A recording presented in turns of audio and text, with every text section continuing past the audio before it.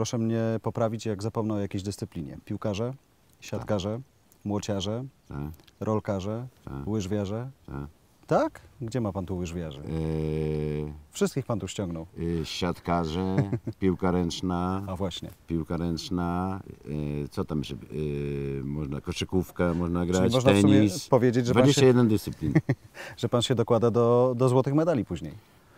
Y, jeszcze złotych po treningu w Aromowie nie, ale mam nadzieję, że będzie. Była ostatnio Anita. Mm. Myślę, że teraz mają gdzieś w sierpniu Mistrzostwa Świata w Londynie. To chyba zdobędzie, bo Rozmawialiśmy z nią, jest pełna nadziei, natomiast mówi, że e, trochę się zapatrzyła na piłkarzy, którzy tutaj przyjeżdżają, mają fajną Mhm. bazę, że i oni potrzebują w takim momencie przygotowań czegoś takiego, co ich trochę wyłączy ze świata. mhm. Pan im, ta przestrzeń, którą mamy tutaj wszędzie, trochę ten spokój daje. daje spokój. To w promieniu 10 km nie ma nic. Są lasy i arłamy. dodajmy, że w promieniu 10 km, jak człowiek sięgnie, to wszystko jest z Pana. No, no, no, no. no. 15, przepraszam. E, powiem panu taką anegdotę. Kiedyś byłem we Francji ze szwagrem i zwiedzaliśmy doli- zamki w Dolinie Loary. I tak myślę sobie, ten, ten i Nie, ten. i byliśmy w Chambord, przepiękny. I stałem tam na jednej z wież i też taka przestrzeń była jak w Arłamowie. Mm. I mówię, że do szwagra mówię, widzisz ten cały horyzont? Tak. Ja mówię, to jest moje. On tak patrzy na mnie, mówi, to ja mówię, zamknij oczy. Mhm. Co widzisz? A on nic. A to jest twoje. No bo jest Pan tutaj potężny w regionie, nie? Taka postać, która jest Pan jednym z największych pracodawców, jakby nie było, i człowiekiem, który tą lokalną społeczność angażuje. Proszę pana, e, tak, bo tu pracuje 360, e, w porywach 370 Mhm. ludzi, więc e, 80-85% to są miejscowi pracownicy. Więc to idzie i pieniądze tu wchodzą, i, i podatki, i ten, kraj, e, ten region się rozwija. I mam dużą satysfakcję, bo doznaję takich nieraz. E, e, ludzie mi mówią, że Honorowy obywatel Ustrzyk, nie, to Wałęsa. nie, nie, nie, to Wałęsa A nie jest Pan honorowym obywatelem Arłamowa jeszcze? Jeszcze nie, jeszcze nie. Ja o to zaapeluję do Rady Miasta. Ale razie. wydaje mi się, że, że ci pracownicy potrzebują jeszcze rok i Mm. będzie w Arłamowie praca będzie zaszczytem. A łatwo jest dzisiaj o pracownika? Patrząc szczególnie na takie pogranicze polsko-ukraińskie. Łatwo, trudno, jak to jest? Nie jest trudno tutaj. Y, Tu jest jeszcze Zagłębie, y, jeszcze jest rezerwa kadrowa Mm. tutaj. Ja się dziwię na przykład we Wrocławiu, mam szwagra, który ma firmę. Pan, I tam jest, już nie mają gdzie stawiać tych firm. I jeden drugiemu podkupuje, płaci po 5-6 tysięcy. A w Przemyślu taka możliwości są Mm. i infrastruktury i tak dalej. I blisko na wschód. I że nikomu do głowy nie przyjdzie, żeby tu przenieść fabrykę, Mhm. jest autostrada, są pociągi, to nie jest koszt. Tam płaci 6 tysięcy, a tu zapłaci 3. No jest trochę takie myślenie, No. że jak już jedziemy tutaj, to w w Bieszczady, to Mhm. robią no, to marzenie, że zostawić wszystko i wyjechać w Bieszczady.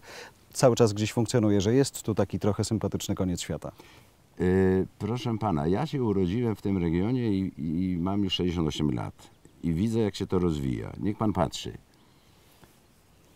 Z każdym rokiem a, e, region Podkarpacia będzie znaczył na mapie gospodarczej i turystycznej Polsce coraz więcej. Niech pan patrzy, mamy Mielec, mamy Stalowe Wole, mamy Krosno, mamy Rzeszów, całą Dolinę Lotniczą. Przepiękny przemysł lotniczy. Ja 16 lat pracowałem tam. Widzę, jak te zakłady, to ja wiem, co tam jest. Tęsknię za tym przemysłem. Aż mnie korci, żeby z Panem chwilę o polityce porozmawiać, ale nie, nie chcę, bo ten przemysł Ale ja lotniczy nie dzisiaj o nią skończę. zaha- zahacza. Mamy autostradę, mamy piękne lotnisko. I to jest jedna noga. Mm. Uniwersytety, akademie, etc. Medyczne teraz kierunek otwarli. I mamy drugą nogę, to jest e, turystyka. I to jest niewykorzystane. Mm. Przedstawiłem plan na Bieszczady. Myślę, że to zrealizujemy. A co, jeszcze więcej niż Pan tu ma? Jeszcze więcej i zrobimy, proszę pana, e, e, Podhale, tylko lepiej i ładniej. Tylko niech Pan nie buduje krupówek, proszę, dobrze? No nie, nie. nie. To, to się wtedy będzie miało szansę obronić. A nie ciąży Panu historia trochę, że jednak Arłamów to jest w prostej linii Wałęsa? Nie? Że Arłamów to jest jakaś historia też taka dygnitarzy, którzy tu przyjeżdżali. Ciąży, a może pomaga? Ja panu powiem taką rzecz, że Harlamów to e, już ma, ze, w związku z tym, że ma swoją historię, to jest znany. Mhm. Dodatkowo jeszcze jak Nawałka był, pan trener Nawałka był tu z kadrą, to rozpoznawalność y, Arłamowa poszła bardziej. Mam nadzieję, że wybierze jeszcze przed Mistrzostwami Świata i przyjedzie do nas. Oczywiście on zadecyduje. Ale pan prezydent Wałęsa przyjeżdża raz, dwa razy w roku tutaj. Dobrze się czuje. mówi, że zawsze tutaj, mówi, panie, coś tu jest w tym e, Mm. powietrzu. I waży się. Ja mu tam wagę e, troszkę reperuję i on zawsze ma rezultaty dobre. Więc wraca. Sam bym wracał. No. Wraca, tak. Jak tak popatrzymy na, na, na, na Polskę, to mamy papieża naszego Mhm. i Wałęsa, taki znany bardzo i tak dalej. Szkoda, że się, że nie wykorzystujemy ten, ten, ten, ten, ten jego mm, potencjał. No. Są siły i czynniki czynne w tym, żeby go nie wykorzystywać, ale zostawmy, nie mieliśmy w ogóle rozmawiać o polityce, czyli to jest coś takiego, co bardziej pomaga niż wadzi. Bardziej pomaga, Mhm. tak, tak. Ja jestem bardzo zadowolony, że zresztą widział Pan tę tablicę, kto tu bywał i tak dalej. To jest historia. Teraz jeszcze postawimy tam y, piękny pomnik, który mój przyjaciel zmarł. 25 lat y, z nim polowałem i mogę na niego zawsze Mhm. liczyć. We wrześniu około 24 postawimy Mhm. przepiękny pomnik. Sam z rodziną mu fundowałem za to. Bo myślistwo tutaj mocne. Myślistwo jest i myślistwo jest potrzebne i w lasach powinny być wszystkie zwierzyny, wilki, rysie, dziki, niedźwiedzie, etc. Tylko nie może być w jedną skrajność wpadać w drugą. E, człowiek zakłócił równowagę w przyrodzie i człowiek musi ją regulować. Nie ma rady. No tak, ale no, bo regulacja nie zawsze musi być piłą, tak jak teraz na przykład w lasach, nie?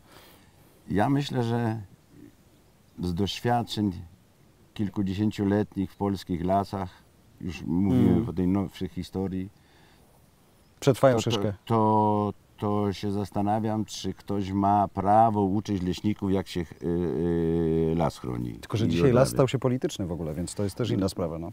No ale oni się znają na tym. No. Oni pewnie tak. Kiedyś rozmawiałem mm, z panem nadleśniczym tu w Birczy i mówiłem o lasach, że też duże wycinki i tak dalej.